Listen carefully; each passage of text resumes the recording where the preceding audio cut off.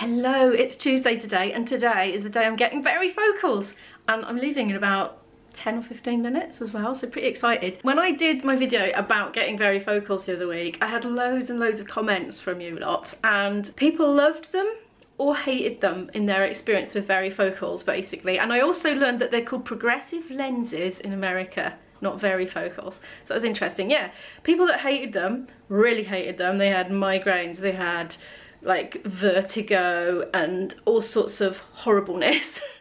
and people that loved them really, really loved them and swore by them. And we had some interesting comments about trying to use contact lenses and failing as well. And even IB chipped in through me. He sent me a comment to paste back to Loz's Leisure. Loz's Leisure's got a channel, do check him out. He's a travel vlogger obviously been in the UK mostly, but he's doing some Portugal vlogs at the moment. They're lovely. Um, anyway, yeah, he failed the contact lenses, didn't you, Loz? Yes, if you're watching.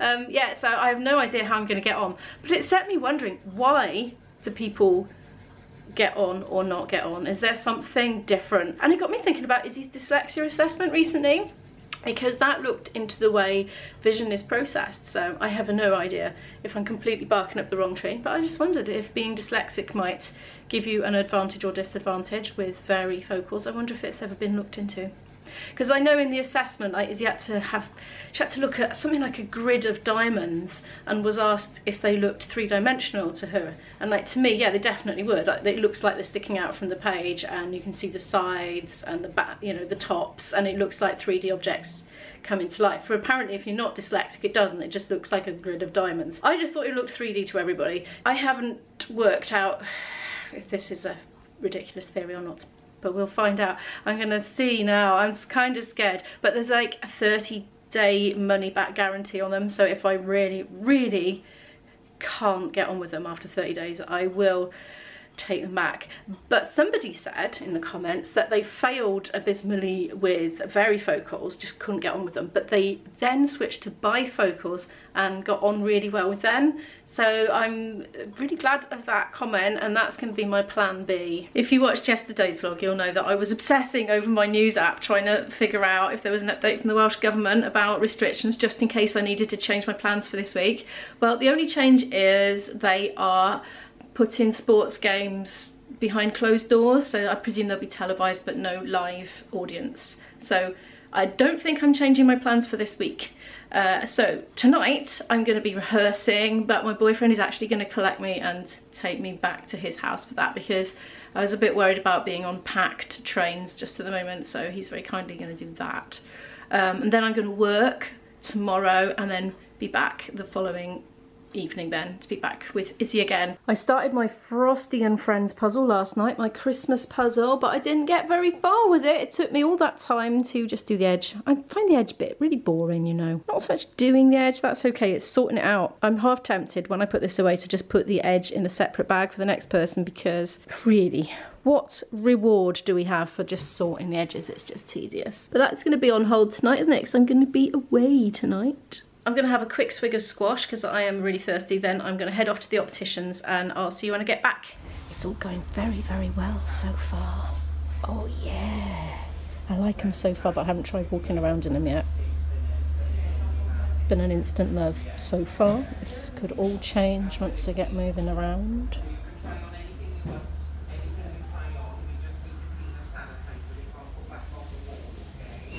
Might have got tempted to pop in Greggs for some mince pies, if they have any. Oh, they do. Excellent. By there. I'm already back because they were slipping down my nose. So I thought let's just get them sorted out straight away. I am back and I am loving the new glasses. Oh my goodness. I am so loving them. I can see the monitor screen in focus with them on and I'm not having the whole it's out of focus and I can't tell because it just looks out of focus anyway issue. Brilliant. Oh, and I bought mince pies, a lot of mince pies. Mince pie for me to have at home, mince pies for us to have in the rehearsal, and mince pies to possibly have during our office working day tomorrow because I'm sure they won't be stale by then. And here they are. They do look a little bit different from my older ones. Prefer the look of my older ones, but It's more important to me that I can see properly and not be swapping glasses. I am obviously in the duct water category, no problems at all. I mean, yeah, there's some little funny warpy bits, like but very, very minimal. And I, I just move my head and then I can, like if something's out of focus, I just move my head and then I can focus on it. so it's brilliant, I love it.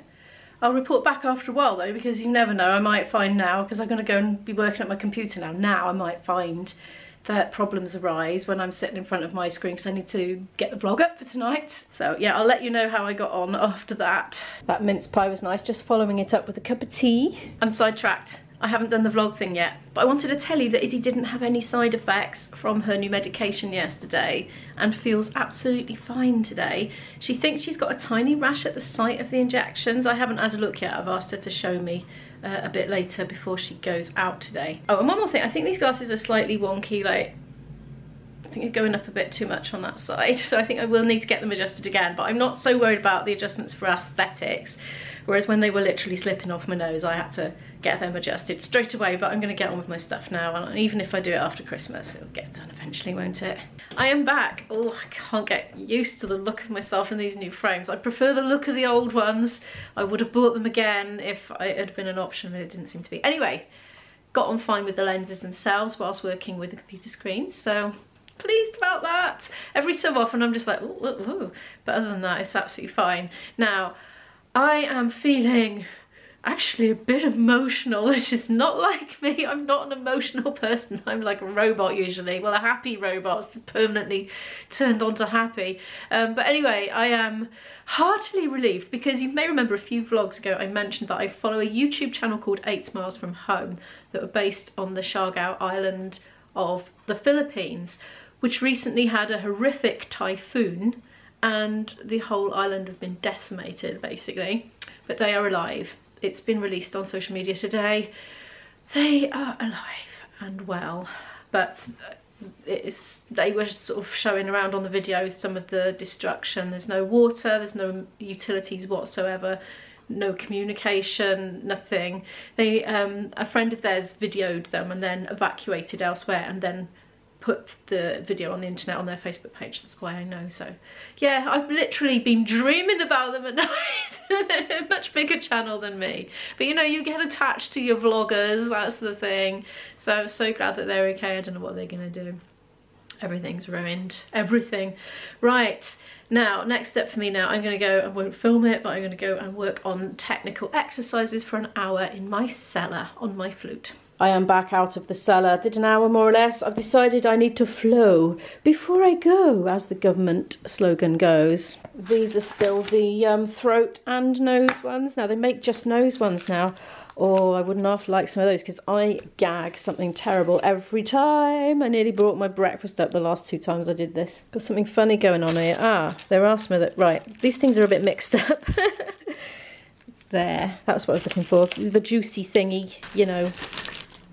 We've got multiple boxes, you see, and uh, I think uh, they maybe got mixed up a bit. There we are, it's heading on up the strip. I'm going to get some lunch now, which is going to be very easy actually, because I'm just heating up leftovers from yesterday, which is this pasta. Looks all right, doesn't it? I'm packing up flute, laptop, essential electronics, camera bag. I've got a food bag and also my amplification gear in there just in case. I figured I'd leave that with my boyfriend's just in case I have to get the train back to do the gig. Now speaking of trains, there was a news update. Because of Omicron, they've decided to reduce the number of trains running due to staff shortages apparently. They say if they do that, they just aim to run less, there'll be less cancellations. So we've got that to look forward to. It's about 20 to 5 now and he's due at 5.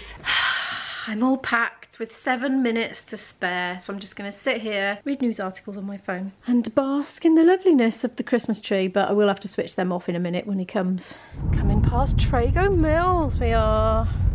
I'm so enjoying these varifocals. I find it helps to hold your breath first. I can focus both on the monitor and my boyfriend shoving a lateral flow test up his nostril whilst scrunching his face up like that. Got up a different hole this one. Uh, has it? I didn't know you had any more holes up Well, there. not did I, but it just seems to stop prematurely. Ooh, let's hope it's negative after all this. This is the me and Isabel have both done them today. I do hope so, otherwise we'll be uh, kicking you out. Yeah, don't know what we'll do. It'll be very inconvenient, won't it? It definitely will. Yeah. Anyway, we're at IB's as you can probably tell, and I'm just loving the very focals. Oh, I had a heavenly time chopping my vegetables up, didn't I? Because I could see them and everything else. It was wonderful. And I didn't cut my fingers off or anything like that because of warped perspective. Oh no, Did you say great. you had a heavenly time? cutting- Heavenly. Cutting vegetables. You do not know how disabling it has been living with just long distance classes. Monofocals. At monophone, yeah, that's what he said. Oh, he's doing the drips now. This is what we're having for dinner. Chippies in the ActiFry, which are going round. They're stirring themselves. Yeah, but they get stuck on the bottom if you don't give them a bit of air. Oh, I'll give him some attention in a minute. I'm boiling some veg because I'm the mother and I insist that we eat something healthy. And also there's pizza in the oven. I'm back at the table. IB's drawing in Christmas cards for his Oh, family it even members. looks like me. He's trying to find a picture of a naughty Santa Claus. That one. Blimey. Ooh. Shall I show the people? Hang on. Santa's got a bottle of voddy because he's had a long day in the department store with naughty children climbing all over him, pulling his beard. Good news. It doesn't appear to be infected. Dinner time. Look, he's arranged it in categories olives, sprouts, green beans, broccoli. There's chips under there. You wouldn't want it just like a pile of mash. Here. Well, I just chuck mine all on top of each other, to be honest. They're all cooked in the same pan, apart from the olives, obviously. It's 20 to 8 in the evening now. IB's downstairs. He's been practicing on his own for the Christmas gig. I've been editing everything that I've done up until now on the vlog, so hopefully get it up in time for tomorrow evening because I'm working in the office tomorrow, you see. Not early, not starting till 11, but it might make it a little difficult to get the vlog finished and out, but I think I can do it. I think so. So Dan is coming in 20 minutes. We're running through Christmas carols, aren't we, boys? Yes. Yes, very standard on ones. Just running through them to make sure we can do them because they're very easy. Right, just running through them to make sure we can do them. You're a poet and didn't know. Oh, I am, yes. My special glasses. God rest Oh, my you're, you're, you're, um, it's just, I, I've got a version here. What's it in? This is D minor at the beginning. If you want to put What, it what have you got for D minor? Where's that then? Traditional English carol, it says in Scotland. Yeah, can I have a look at what you've got and I'll make sure I've got the same. I think it came in my jazz fakebook. C sharp on the top, isn't it? Is C7 flat 9 a different diminished? Is that C7? It's going to be. It's going to be there, and it? it's going to be E diminished. One, two, three. Beautiful.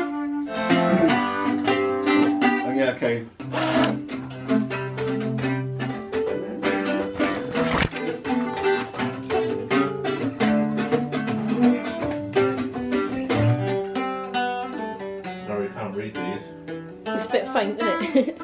Just Or been having a little flat. bit of trouble with I wish it could be Christmas every day. We couldn't decide on a comfortable wish key for the vocals, could we? Sorry. No. In a decent key every day.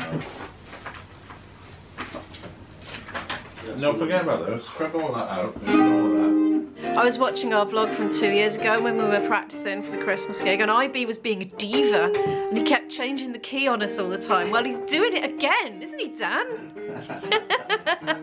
Right, so here's to wasn't you is a C minor. Alright. Here's to you. To B flat down and on a bit round. I'm just going to wait till they've sorted it all out, and then I'm just going to jam along on the flute. Again. Do, oh, sorry. Do they know it's Christmas time? So that's a B flat to, Do I know that bit? It's just coming up to half past 11 at night and we're just packed up. We didn't actually have a break, but we're going to have our mince pies now. Would you like a mince pie, Dan? I can't understand how these boxes work. They seem to be upside down. Yeah, have a mince pie. Thank you. It's going to, the box is going to collapse. No, that's alright, I got it. They look like they've been stabbed with a fork, don't they? Viciously. Especially that one, that's like been murdered. Heading up the wooden hill, not to bed just yet though. IB's radiator in his bedroom is broken. so I'm going to put the heater on ready for when we do go to bed, but we're gonna have a cup of tea first. But if you've enjoyed this video, could you please give it a like? It helps the channel to grow and I really appreciate that. If you're new here and would like to follow more of my story here in South Wales, do hit the subscribe button and the notification bell and I'll see you in the next one. Bye!